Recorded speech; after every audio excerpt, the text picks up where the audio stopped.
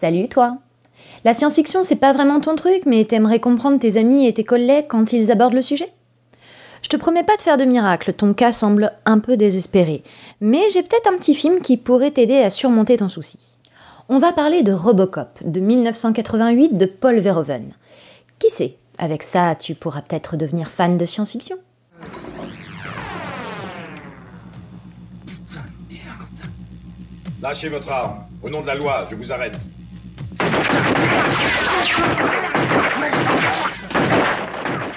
On va commencer par les bases. Robocop, c'est un film culte. Tout commence par un policier qui, chemin faisant, rencontre des malfrats. Les truands, par la vision alléchée d'un bel uniforme, lui tiennent à peu près ce langage. Ohé, monsieur l'agent, vous avez l'air bien poli et bien courtois. Nous ne sommes que de paisibles citoyens. Passez donc votre chemin. Le policier, un peu naïf, se laissa attendrir. On repose-toi, Émile.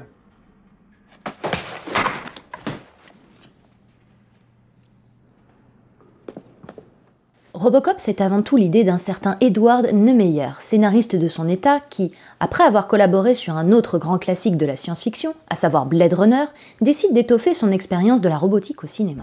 Il présente son projet à plusieurs réalisateurs qui déclineront plus ou moins gentiment son invitation, tels que David Cronenberg ou Jonathan Kaplan, avant qu'un certain Paul Verhoeven ne vienne poser sa candidature.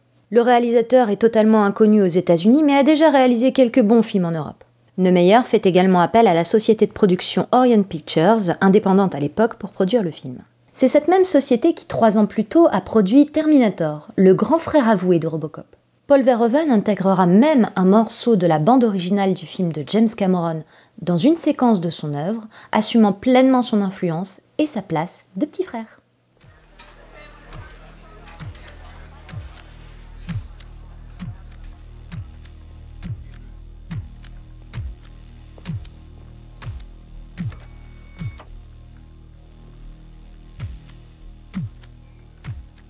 Qu'est-ce que c'est que ce Robocop est l'un des héros les plus célèbres des années 1980 et 1990. Le film tourne autour de grands thèmes tels que l'ordre, la corruption et les excès que peuvent amener une politique sécuritaire.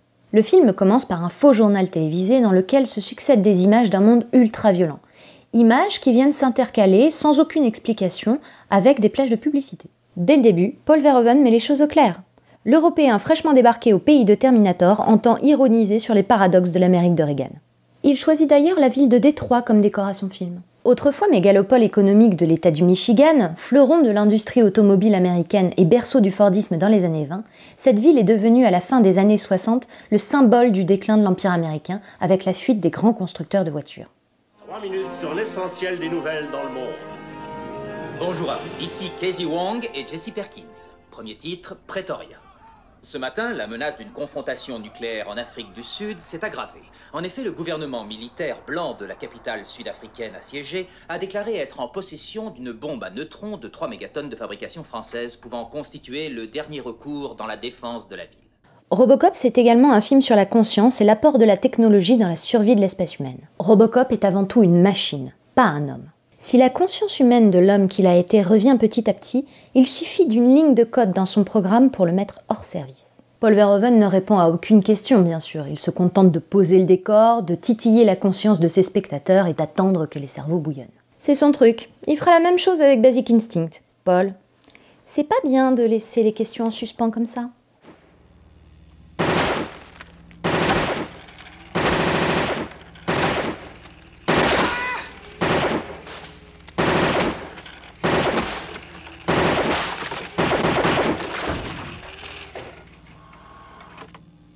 Il est terrible, ce gars.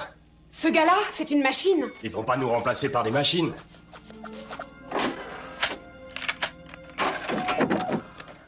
Voilà. Après, j'aurais pu te parler de Blade Runner, Star Wars, Total Recall ou même de la planète des singes. Mais bon, si je peux me la raconter un petit peu avec mon film préféré, pourquoi je me gênerais? Et puis j'ai pas menti. Tu devrais être vraiment plus à l'aise pour parler de science-fiction avec tes potes maintenant. Sauf si tu ne regardes pas le film. Quoi? Te raconter la fin? Attends, attends, je réfléchis, je réfléchis. Non, pourquoi? Tu sais bien qu'on peut pas connaître un film sans l'avoir vu, voyons.